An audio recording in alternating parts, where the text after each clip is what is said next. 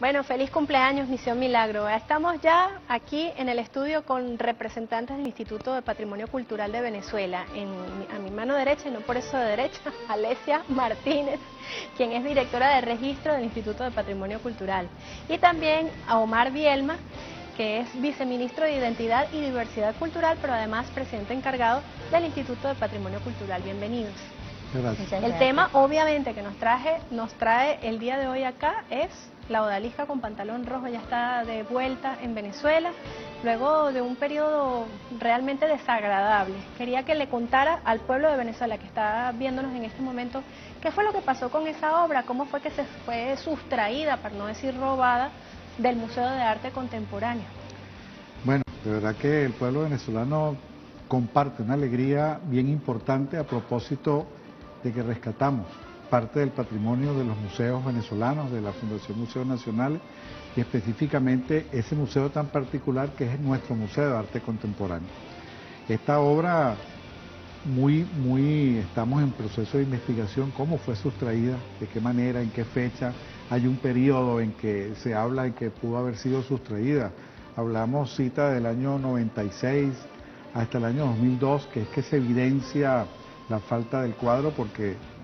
se, evidencia que hay una, falsificación en el marco original y bueno, y todo surge por una, alerta de una, una subasta en Estados Unidos, donde la gente que iba a adquirir la obra pide una asesoría a la casa Matisse que queda en Francia y preguntan con la descripción del cuadro, porque ellos van a adquirir el cuadro para verificar su autenticidad. Allí hablan con el especialista y el especialista notifica que ese cuadro que describen es el que es propiedad del Museo de Arte Contemporáneo de Caracas. Esto activa las alarmas, tanto del FBI en el tema, en el caso de Estados Unidos, como la denuncia formal de, por parte del, del, Museo de Arte Contemporáneo ante el Instituto de Patrimonio Cultural y por supuesto se activan los mecanismos con la Fiscalía y el Ministerio Público. Comienza un proceso de investigación que cierra realmente en el año 2012 cuando en una acción encubierta del FBI vinculada a este tema de tráfico ilícito de bienes culturales, montan un operativo donde dos personas, una de origen cubano-americano y otra de origen mexicano, tenían la obra, la estaban negociando y allí son aprendidos y recuperamos la obra. ¿Quién era responsable del, Museo de Arte Contemporáneo en el momento en que la obra fue sustraída, comillas? Bueno, hay dos periodos, periodo donde estuvo Sofía Inver, ¿verdad? Antes hasta el 2001, y la denuncia se hace en el 2002, ya con otra, con otra administración, pero no está claro en qué momento pudo ser. Esa obra circuló en varias exposiciones internacionales, una de ellas, una que se hizo en España, donde podemos pensar que allí fue sustituida la obra, fue algo planificado para sustituir una obra, porque de hecho el cuadro tiene la etiqueta firmada por Matisse y el, y el, y el, el marco seguía siendo el mismo, pero con una falsificación. Ahora, el tema interesante en todo esto es que luego de todo este proceso, el Ministerio Público inició todo un proceso de investigación junto con el Ministerio de Relaciones Exteriores, sobre todo el, viceministerio vinculado a Norteamérica, y eh, todas esas diligencias, por supuesto, con toda la asesoría del Instituto de Patrimonio Cultural, la Fundación Museos Nacionales, donde están los especialistas en el área, hicieron posible que ayer se concretara el día, el día 7, el día lunes, se concretara el regreso de la odalisca verdadera,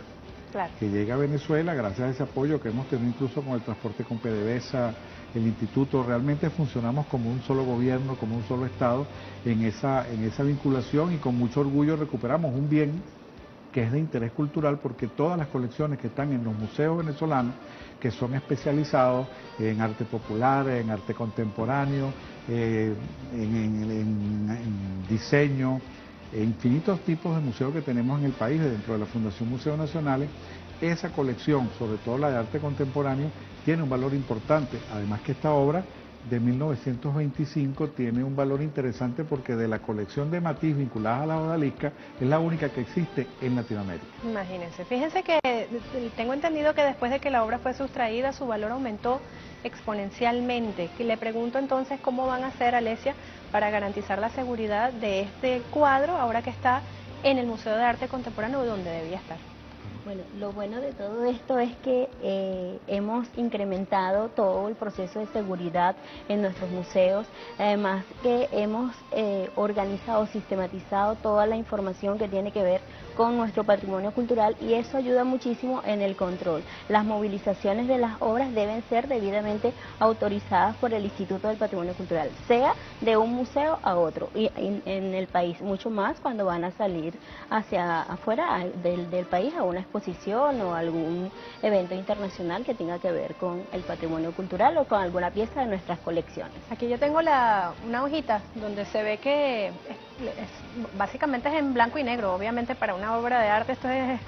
peor que una fotocopia, pero me llama la atención el hecho de que colocaron una falsificación que además es bastante bursa de la original, les pregunto dónde va a ir esta obra falsificada. Ah, y además, porque esto tiene ahora un valor histórico, la obra falsificada tiene ahora un valor histórico y seguramente hasta un valor eh, judicial, me refiero, formará parte la obra sustituida eh, o por la que fue sustituida, en este caso, parte de la investigación que está llevando a cabo el Ministerio Público. Seguramente, es parte de las evidencias que tenemos. Parece una película, ¿vale? Pero es muy triste, ¿cierto? Es muy triste porque hay personas aquí involucradas. ¿Ustedes creen que de verdad se puede llegar con el responsable de quien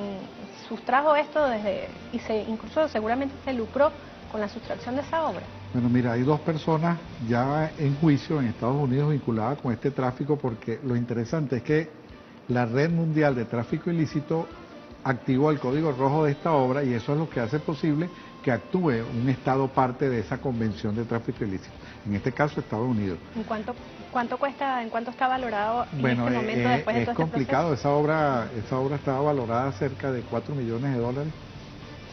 puede ser que haya aumentado, eh, por supuesto, su valor. De hecho, pensamos que la obra, la, la, la, copia, tiene ya un valor monetario importante. claro. Ya hay gente que ha estado cotizando por la obra, pero eso evidentemente, todo eso es propiedad y patrimonio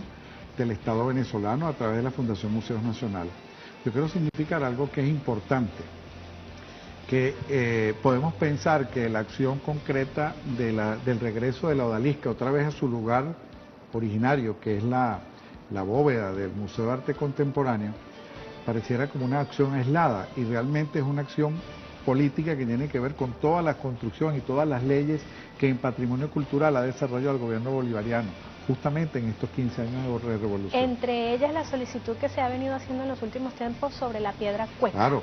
Hubo un documental que hicieron mi compañera Karen Méndez y mi compañero Jorge Amorín en, para Venezolana de Televisión y el Sistema Bolivariano de Comunicación e Información y donde se demuestra bueno la gravedad del asunto, cómo se llevaron una piedra con el beneplácito de algunas autoridades venezolanas como siempre en la época de la Cuarta República muy entreguistas y ahora bueno todo un desastre que para las propias etnias aborígenes ha significado eso. ¿Qué se está haciendo? ¿Cómo va ese proceso de repatriación de nuestra piedra? Bueno, eso quería decirte, dentro de esas políticas de promoción, difusión, protección del patrimonio cultural, además de sistematización tenemos un registro que se ha desarrollado desde el Instituto de Patrimonio Cultural, que es un registro de patrimonio cultural venezolano, que está en la web, se llama RPC Venezuela, donde todo el patrimonio cultural de cada uno de los municipios, y un ejercicio que hicimos de levantamiento un censo de patrimonio cultural de todo el país, está en esos catálogos y está, tenemos un catálogo por municipio, una labor interesante en tiempos de revolución. Además que pasamos de 11.000 registros a más de 125.000 registros en dos años. Sea, tenemos evidenciado y valorizado o valorado por parte de la comunidad su propio patrimonio porque la comunidad dijo que era patrimonio. Además que el tema de la piedra cueca forma parte del asunto, porque la abuela cueca se la llevan de esa manera irregular, pero el imaginario alrededor de, esa, de ese mito de la abuela y el, y el abuelo, que tiene que ver con el mito de la piedra cueca, este, a pesar de que existe, están alejados desde el punto de vista físico. No obstante, se han hecho muchísimas diligencias, sobre todo por parte de la Cancillería, apoyada por el Ministerio de la Cultura, gran cantidad de colectivos que han iniciado procesos de movilización, de investigación, incluyendo los chamanes y los capitanes de las comunidades Pemón, que son las afectadas en este caso, y hoy hay un compromiso formal del gobierno bolivariano, de la Fiscalía, del Ministerio del Poder Popular para la Cultura y sobre todo del Instituto de Patrimonio Cultural, en que vamos a hacer todas las diligencias que sean necesarias para que ese patrimonio del imaginario de los Pemón Salomón, que es un patrimonio cultural, no solamente de Venezuela, sino de la humanidad, vuelva realmente a su lugar de origen. A seguir protegiendo esos caminos que tienen que ver con nuestra historia. Bueno, y además tenemos entendido, Alesia, que lamentablemente en estos momentos esa piedra ha sido tallada, se encuentra en unas condiciones distintas. Sin embargo, hay la posibilidad cierta de recuperarla, digamos, no desde el punto de vista físico, de traerla de nuevo a Venezuela, me refiero a volverla a su, al menos a una condición óptima para que los femones sientan que, bueno, fíjate el, que el equilibrio se ha logrado. Fíjate que dentro de su cosmovisión, eh, los pemones plantean que bueno la piedra, la abuela cueca, como la llama, deberíamos de llamarla todos, abuela cueca, eh, volverá a su espacio, pero ellos ya, ella ya no estará